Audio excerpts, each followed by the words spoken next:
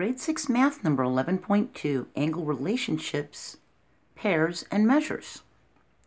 Adjacent angles have a common vertex and a common ray, but have no common interior points. So here's the common vertex for 1 and 2. It's right here. It's this center where these two lines cross. And they have a common ray. Between 1 and 2, they share this line. See? So that's the common ray from this point in the center coming outward. The word adjacent means adjoining or neighboring. So if we look at this, angles 1 and 2 are adjacent, angles 2 and 3 are adjacent, angles 3 and 4 are adjacent, and angles 4 and 1 are adjacent. See that? They're neighbors. And they share that common ray that's in between them. Vertical angles are formed opposite each other when two lines intersect. So angles 1 and 3 are vertical, and 2 and 4 are vertical to each other. See? They're opposite each other. They have the same measure. Vertical angles have the same measure. So angle 2 and angle 4 have the exact same measure, and angle 1 and angle 3 have the exact same measure. Angles that have the same measure are congruent. So you're going to see congruent a lot in geometry.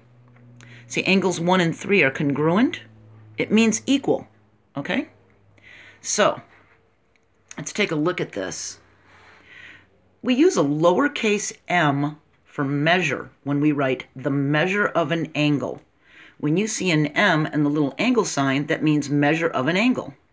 The measure of the angle ABC equals 40 degrees. ABC. And see, the B is the vertex. The middle letter is always the vertex. And then that lets the person know that the B is the vertex. See? So the measure of angle ABC is 40 degrees. It's a 40 degree angle inside of here. When two angle measures are added together and we get a sum total of 90 degrees, here's 30 and 60 or 45 and 45. So when they total 90 degrees, the angles are complementary angles. They're complementary to each other. See? These two 45 degree angles make one right angle, don't they?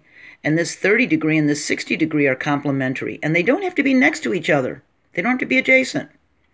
They equal 90 degrees together and they are complements of each other. So you can remember the C in complement is like C for corner that makes 90 degrees for a 90 degree angle, see? All right. When two angle measures total 180 degrees, that's like a half circle, okay? We have supplementary angles. So a 50 and a 130 totals 180. We have a straight line we have a half circle of 180 degrees. And again, they don't have to touch each other. They don't have to be adjacent. But a 105 degree angle and a, and a 75 degree angle are supplementary angles to each other because they total 180. So you can think S for supplementary is like S for straight line. See? And that'll make you remember 180. Now we can figure out a measure by knowing. See? We get these memorized. Right angles are 90 degrees, complementary are 90 degrees, supplementary are 180. Now, by knowing these facts, we could find out the measures of angles. Here's a right angle, and it's kind of tilted. You can see it's a right angle if I tilt my camera. But if this is a 40 degree angle, then what must that one be? Well, it must be 50 because it's a right angle. We can see the box. And so they must be complementary and they must equal 90 degrees. So what does the 40 need to be 90? It needs a 50. It's got to be a 50 degree angle. Here's one. We know this is a straight angle right here, and this is 145. So what could this one be? You do 180 minus 145 and you get 35. It must be 35 because they're supplementary. They must equal 180. See? And we can have angles that are both congruent and complementary. See that? These are both, both 45 degrees and they're complementary. They equal 90 degrees, see? All right, look at these angles. These are vertical angles that are congruent, and these are vertical angles that are congruent. And when we go this way, we can see it totals, whoops, this is supposed to be 60, I'm sorry. I put 80 and it was supposed to be 60. When it goes this way, they total 180 degrees. These two total 180 degrees. These two total 180 degrees, and these two total 180 degrees. See?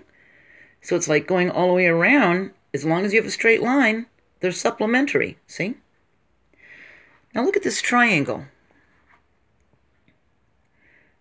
We have supplementary angles of 140 and 40, and 140 and 40, and it even goes 140 and 40 this way. See? See that? And it goes 140 and 40 that way, and it goes 140 and 40 that way, and that way. And so do these.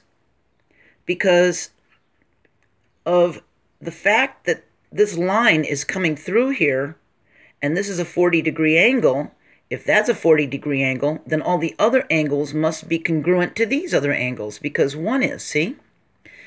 And then we measured this one and it's 180 degree going for a supplementary angle. So if this is 100 degrees, we know that's 80, see? It's just a little bit bigger than a 90 degree angle, just a smidge. See? Just 10 degrees more. All right. What if we have a problem like this? We know this is a 90 degree angle because we see the box here. And if this is a 23 degree angle and this one says it's 62 plus n, what could it be? Well, it must be 90 degrees. So we add the 23 and the 62 and we get 85. And we know it needs 5 more to be 90. So we know that n must be 5 because 62 plus n plus the 23 has got to be 90. See? Does that make sense? Same thing if we do subtraction. We know this must be 180 degrees because it's a straight angle. Well, if that's 53, we do 180 for the straight angle and we take away the 53. So now there's 127 left. Well, this says n minus 3 is this angle, and this angle must equal 127. So n must be 130, because if you have n and you minus 3 and then you get 127, you must have 127 plus 3 to get to the end, see? Because it took away 3. So if this is 127, it must be 3 more than that to be able to take the 3 away. See? So n equals 130. Look at this one.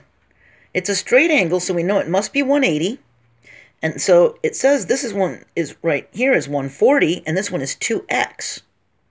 Well, we take the 180 and we subtract the 140, and we're left with 40. So this is 40. So 2 times what is 40?